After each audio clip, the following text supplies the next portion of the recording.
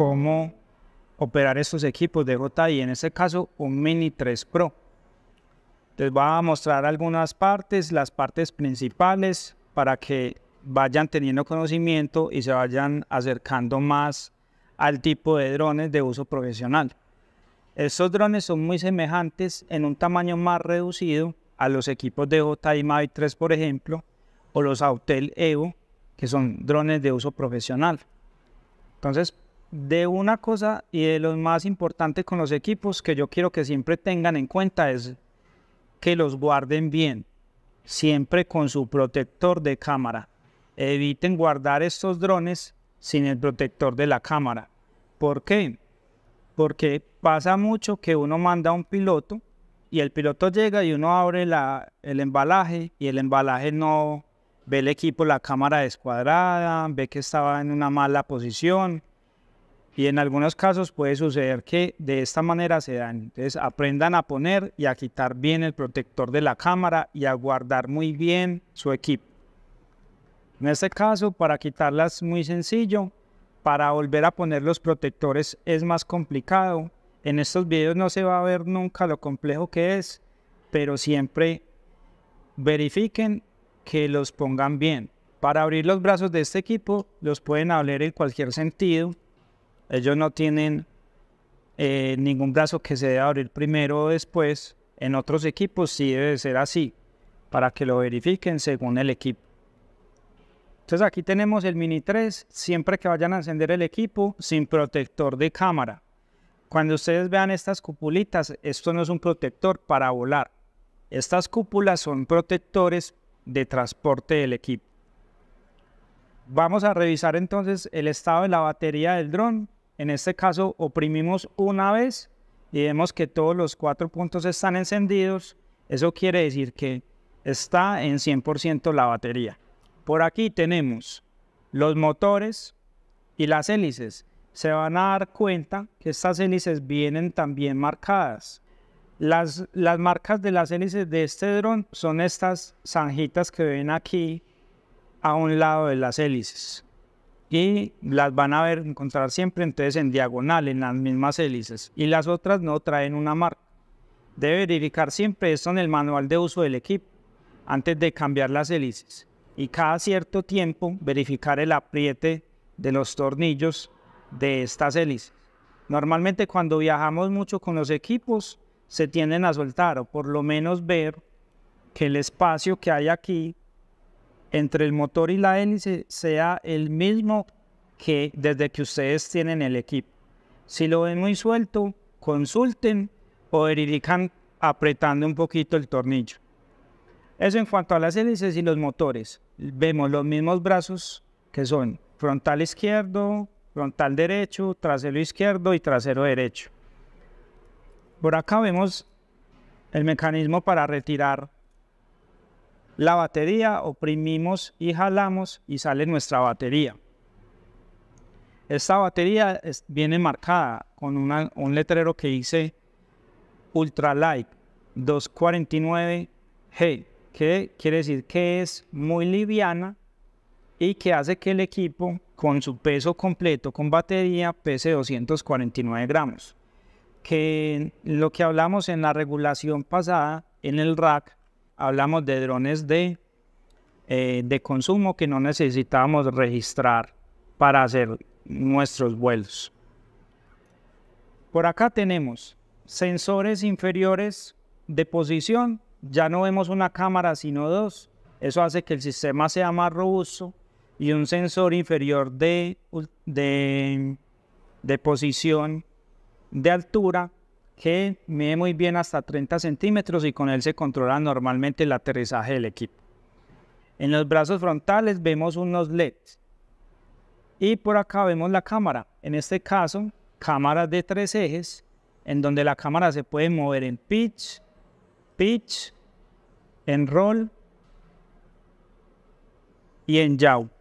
Entonces, al tener esos tres ejes, hace que muchas veces vamos a ver que nuestro dron se mueve mucho en todos los ejes, pero nuestra imagen queda estabilizada. En la parte superior también tenemos sensores. Esos sensores serían para obstáculos al igual que los frontales.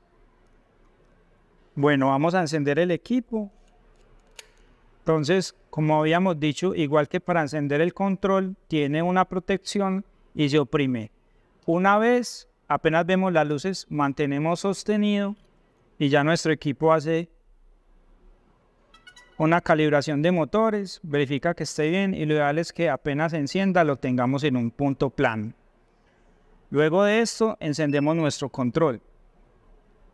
Lo ideal siempre es hacer al revés de lo que acabamos de hacer. como lo hicimos rápido no hay ningún inconveniente, pero la ideal es que siempre nuestro dron tenga la señal del control. Como estos drones tienen funciones autónomas como las de retorno a casa, la intención es que siempre tenga señal del control para que no vaya a hacer algo que no queremos que el dron haga. Entonces ya vemos la cámara, vemos que cuando yo muevo el dron, la cámara mantiene su posición y se queda siempre mirando hacia el horizonte. Entonces en ese caso la, la cámara está bien. También verificamos que los motores estén liberados, que nada los esté aprisionando. Aquí tenemos el control de nuestro dron. Ya sabemos que con esta palanca, con la izquierda hacia arriba y hacia abajo, subimos y bajamos nuestro dron y con esta vamos adelante, atrás, izquierda y hacia la derecha. Aquí tenemos ya nuestra aplicación, en este caso es la DJI Fly, que es la aplicación con la que vuela el dron DJI Mini 3 Pro. En la parte de acá, en nuestro primer menú, vamos a ver diferentes opciones, tales como la galería, en donde se van a ver las fotos y los videos que se hicieron recientemente, Skype Pixel, que es una red social de DJI para compartir imágenes y videos, y nuestro perfil, en donde podemos ver nuestro perfil de vuelo y podemos normalmente donde está ver dónde está la parte busca mi dron en que algunos me preguntaban qué pasa si llegamos a perder nuestro dron la última posición queda si este control V con el que estábamos volando, ahí podemos encontrar el dron. Entonces, normalmente, en este caso, le daríamos en busca mi dron y deberíamos darle conexión eh, de red al, al control. En este caso no tiene conexión ni 4G ni tiene Wi-Fi. Entonces la idea es darle conexión para que nos diga el último punto donde volamos.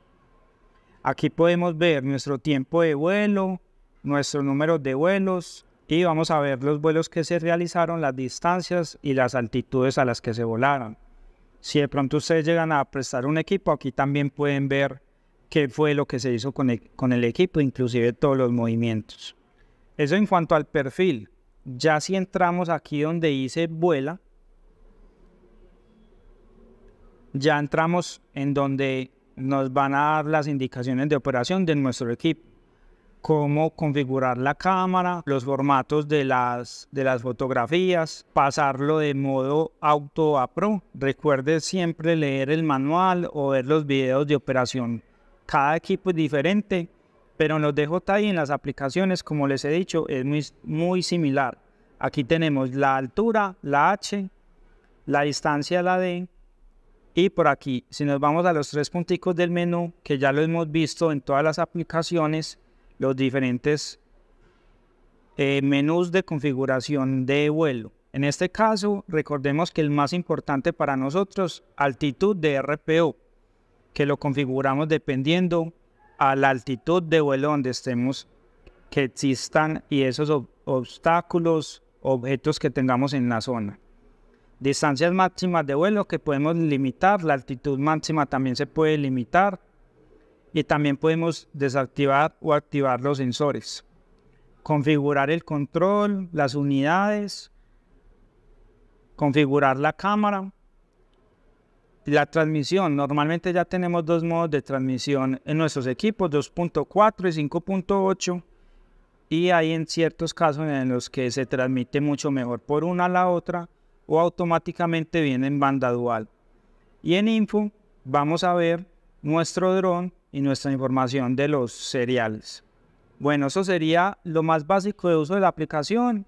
Por aquí vemos detalles en el Mini 3 Pro que podemos girar la cámara La camarita puede girar y voltearse para hacer tomas verticales o horizontales. Y de igual modo vemos el tiempo de vuelo del dron. Cuando armamos, empieza a contar el, el vuelo. Si despegamos el dron, vemos que se activan los sensores y nos dice que está en vuelo. El número de satélites, los radares del dron. Si oprimimos aquí, vamos a cambiar entre los modos de foto o de video en quick hyperlapse, panorámicas. Recordemos que todos estos modos y de uso los vemos y los encontramos en, en YouTube.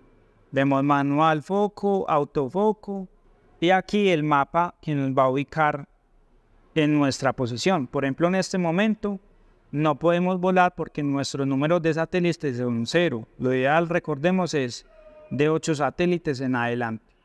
Y en el control tenemos un botón que es el de retorno a casa. ¿Cómo funciona este botón? Si yo primo una vez, no va a funcionar. Si lo primo de manera sostenida, él va a empezar a pitar siempre y cuando el dron esté volando. Nuestros modos de vuelo, que lo podemos cambiar a cine, aquí vemos que cambiamos de C y a modo Sport, en donde normalmente se desactivan todos los sensores. ¿Cómo hago para salir de aquí y revisar algo en mi perfil o ver que esté logueado, voy aquí en vuela. Le doy aquí atrás en la flechita y le damos aquí en vuela. Y para tomar fotos es lo más sencillo. Cuando vemos este botón blanco es de fotografía y cuando vemos el botoncito en rojo es de video. Regularmente es así en todos los equipos. Eso sería todo con respecto al uso básico del control de este equipo de JI y ya sabemos que con las aplicaciones que estamos usando tenemos el mismo modo manejo de manejo que todos los drones con el modo 2.